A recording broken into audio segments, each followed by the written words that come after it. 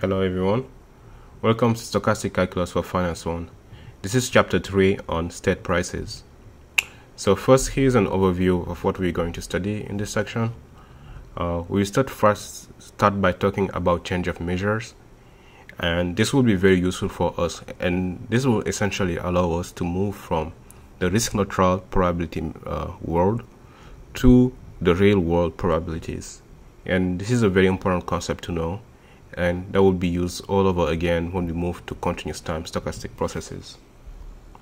Then we will talk about state prices and these are like an important construct for us to understand and because because they will be using them when we study the capital asset pricing model and from the capital asset pricing model then we can go and really solve some interesting uh, problems like optimal investment decision given uh, uncertainty uh, okay, so let's dig in. So first, change of measures. So to talk about change of measure, we just need to first need to introduce a concept of random Nikodym. And to this, so remember we have the actual probability measure. This is the probabilities that could happen in the real world today as we stand. And we also have risk neutral probability measures, right? And if you remember, we already saw this risk neutral probability measure um, concept when we were studying the one period binomial asset pricing model. And these probability measures are nothing but construct uh, that can help us with the pricing of securities in the no arbitrage world. And if you remember, well, uh, if we already derived this in the one period binomial asset pricing, that P tilde is just a function of R, the interest rate, D, which is which we're calling the down factor, and U, which is the up factor. That's all there is to it. Then, given these two concepts, then we can talk about random Nikodym, right? And the random Nikodym is just a random variable that we're calling z here, which is just the ratio of the risk neutral probability to the real world probability. And that's all there is to it. And so this random Nikodym, this random variable z, will have these properties, right? So the expected value of z, the, uh, the probability that the random variable z is greater than 0 is equal to 1. And this is actually quite obvious, right? And I can show you very quickly why.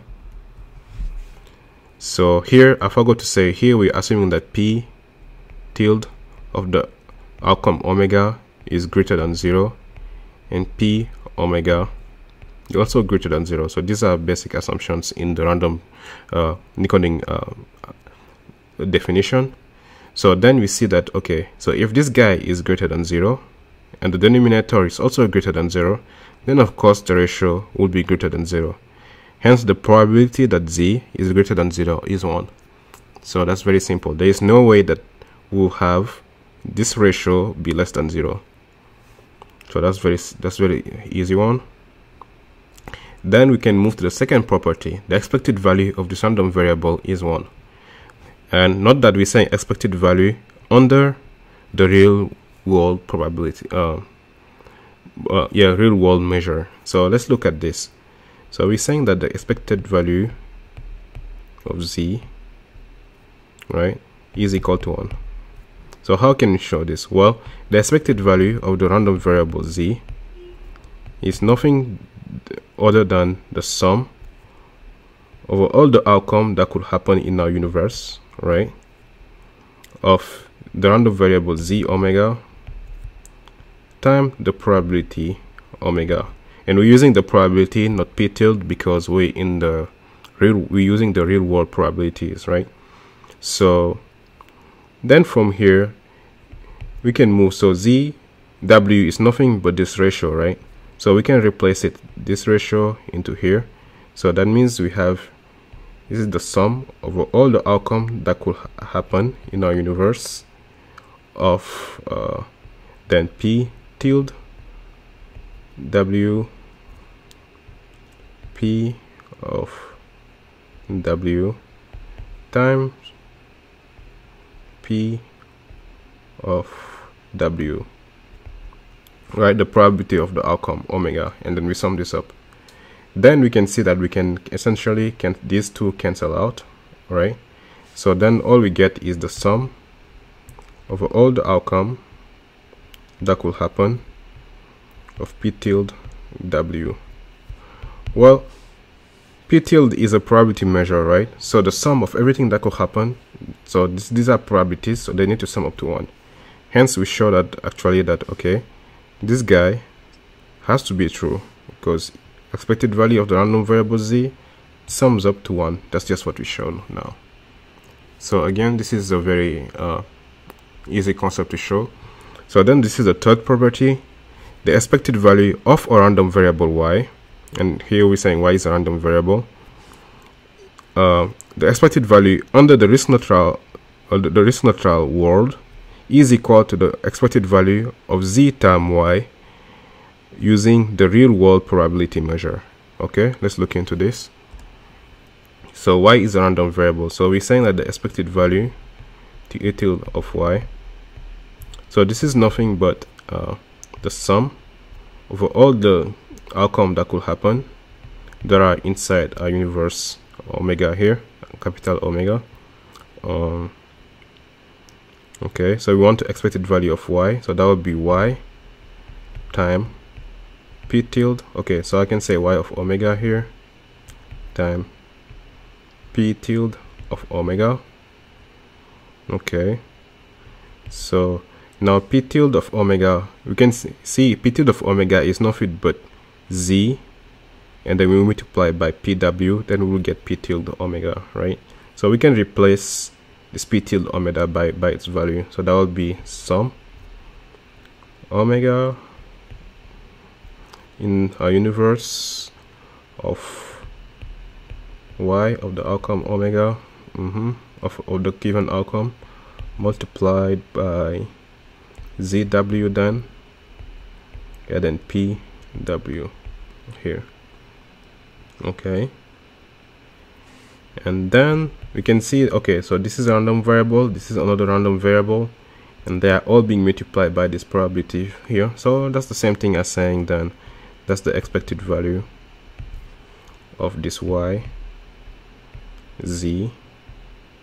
And then since we're using the, the real world probability here so that's just like we we're not adding the tilde here. We in the we're using the real world. And that are, that's all we wanted to show here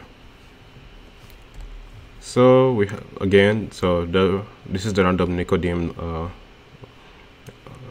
random Nikodym variable here that we just introduced.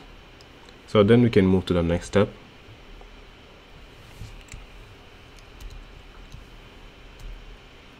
Um, so okay so the way we can show here how this random Nikodym is actually computed and it's very simple. There is nothing really uh, uh, mysterious about this. So So this is just like a binomial tree model and we're using a three step and the tree is based on these uh, parameters, right? So we have the up factor, the down factor, the starting stock price, right? And the interest rate R. And given this, these parameters for the binomial trees, then we can come up with the risk neutral probabilities, right? So we can say P tilde, the probability of going up is one half and Q tilde is one half also and these are using this we found this using these parameters of the trees. And then let's say that actually the real world probabilities are given down here. So given this information we can calculate actually uh, the random variable the random Nikodym for this.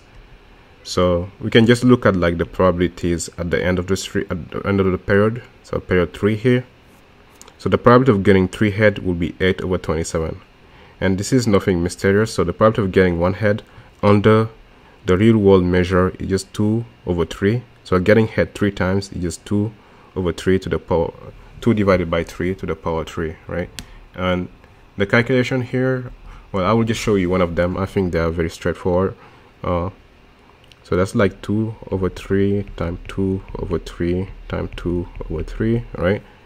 And that's where we're getting basically this 8 and the numerator is 27 pretty simple. And then we can do the exact same thing for using the risk uh, the risk neutral measure right? The risk neutral probabilities.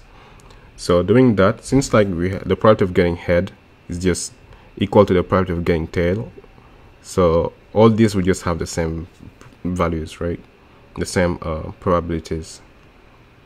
Then to find to find uh, the random Nikodym then we just need to take these guys and divide them by the values here right? And that's all we did here which is very simple. So I can show also like for example this first case. So we define we said like z. We said before that z omega is nothing but p omega p tilde omega divided by p omega right? Okay. So in this case this omega here just head head head right so that means that just the probability of getting head head head under the risk neutral world divided the, by the point of getting head head head under the real world right? So that's just like 1 over 8 divided by 8 over 27 and you can do the math check you will find 27 over 64 and and doing that then we can come up with this random Nikodym uh, variable which is so this is just like a quick example to show how this is actually calculated. Uh, okay. Okay let's move now to talk about state prices. So first we need to introduce the concept of state price density. And state price density is just given by this expression.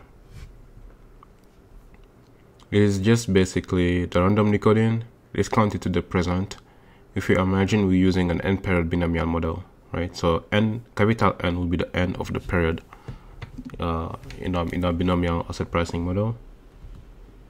Then we introduce the concept of state price corresponding to outcome omega which is just basically the state price density multiplied by the real world probability of the outcome omega occurring. And to interpret these numbers and understand what they mean so we can first consider the particular outcome of tossing, a coin n times. And we can call that outcome omega bar as described here. So if you're tossing the coin maybe let's say four times then omega bar could be something like a particular outcome of this experiment. So maybe h h th something like that. Now with this definition then we can consider a derivative security that pays 1 if and only if the exact outcome omega occur otherwise it pays 0 so considering this derivative security then we can use the neutral pricing formula to find its value today right? So the value today is just equal to the expected value of the payoff under the risk neutral world discounted to the present right? Then from here we can actually expand this uh, this expectation to to just one time the probability of the outcome omega occurring. And we're not seeing like the other omegas here because all of them are multiplied by zero times the probability of those omegas right? So we can just drop them from the uh, from the equation here. So we just get one times the probability of the outcome omega bar occurring. Then if we just look closely this p p p tilde p tilde w bar can simply be replaced by the random Nikodym multiplied by the probability in the real world right? And if you look closely now from here like what is this what is this this uh, expression here notice that this expression is nothing but the price the, the state price density omega. So because of that then you can just replace this value here by the state price density. Then we get this expression the state price density multiplied by the real world probability measure. And again we can look at this and start to uh, what is this value? Well, this value is exactly equal to the st state price density. And then we can replace here. So we have the state price density omega bar. So just to conclude, what we have seen here is if we consider the derivative, the state price, the state price omega bar is equal to the price of a derivative security that pays 1 if and only if omega bar occurs and zero otherwise and that is why then this is called the state price density. State price right? So it is a state price because it is the price of the derivative securities that pay one if and only if of the particular outcome omega bar occurs. And then the state price density then as we can see here can just be taught as uh, the price of the derivative security per unit of real world probability of the outcome omega occurring so those are some interpretation of st this state price and state price density